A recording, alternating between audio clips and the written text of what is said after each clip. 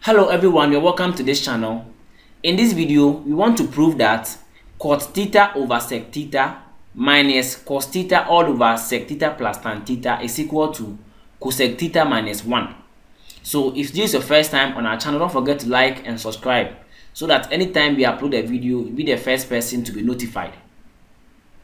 Now you are going to manipulate the left hand side of the equation to see if you can get what is at the right hand side. And so the left hand side is given as cot theta all over sec theta minus cos theta all over sec theta plus tan theta. Now from here we can rewrite cot theta as 1 over tan theta and tan theta can also be written as sine theta all over cos theta. So here we can rewrite this fraction as cos theta all over sine theta. And we also know from trig identity that sec theta is equal to 1 over cos theta. And so I'm going to substitute this and this into the expression. Now cos theta, we had cos theta over sine theta. So I'm going to write cos theta over sine theta all over. Then sec theta, we had 1 over cos theta. So we are going to have 1 over cos theta minus cos theta all over and then sec theta we had 1 over cos theta so we had 1 over cos theta plus and then tan theta we can also write tan theta as sine theta all over cos theta.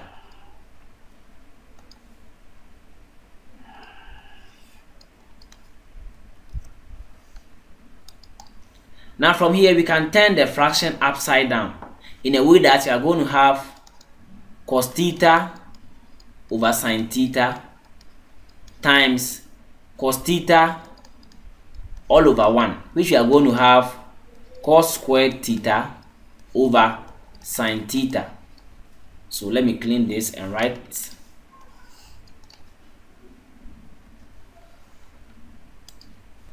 So this side will be equal to cos theta over sine theta minus cos theta all over here we are having same denominator so we are just going to add the numerator. So we are going to have 1 plus sine theta all over cos theta. And so I can also turn the denominator upside down to get cos squared theta over sine theta minus. So when I turn it upside down I'm going to have cos squared theta all over 1 plus sine theta. So let me clean this side.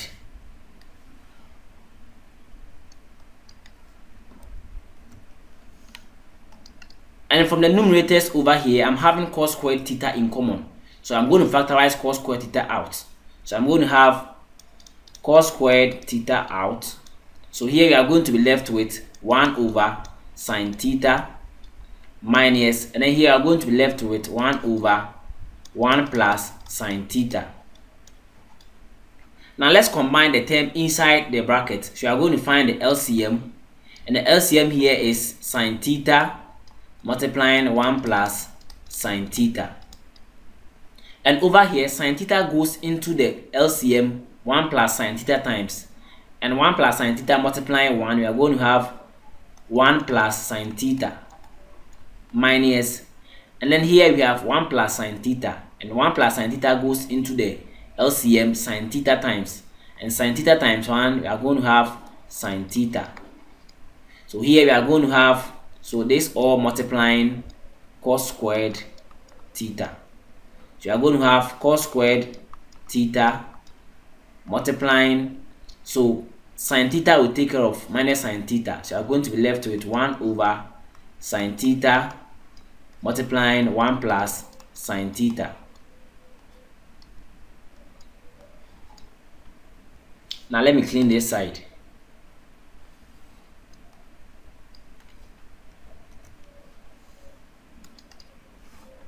So let us expand this bracket. So when we do that, you are going to have cos squared theta all over sine theta multiplying 1 plus sine theta.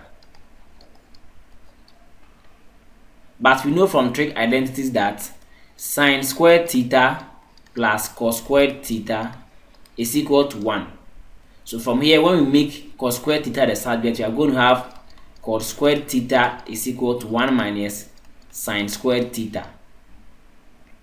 So in place of cos squared theta over here, I'm going to write 1 minus sine squared theta over there.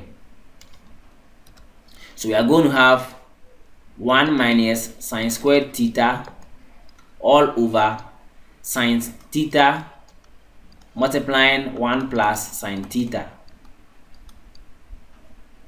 And so this will be equal to, so I can rewrite 1 as 1 squared minus, then I can also rewrite sine theta squared as sine theta all squared all over sine theta multiplying 1 plus sine theta.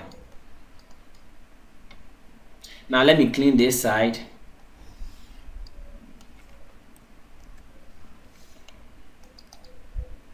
And from the numerator, we are having difference of 2 squared.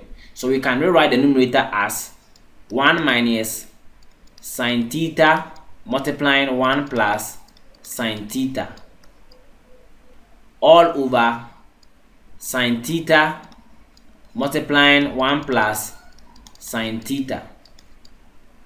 And so from here, 1 plus sine theta will take care of 1 plus sine theta. So you are going to be left with 1 minus sine theta all over sine theta. And so from here, we can rewrite this as 1 over sine theta minus sine theta over sine theta.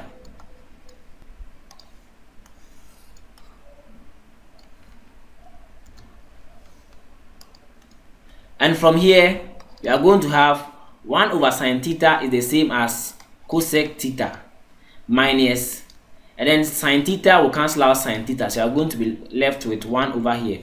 So you are going to have cosec theta minus 1. And from here, when we compare this with the right hand side of the equation, we can see that they are the same. And hence, we have been able to prove that the right hand side is equal to the left hand side. Thank you for watching.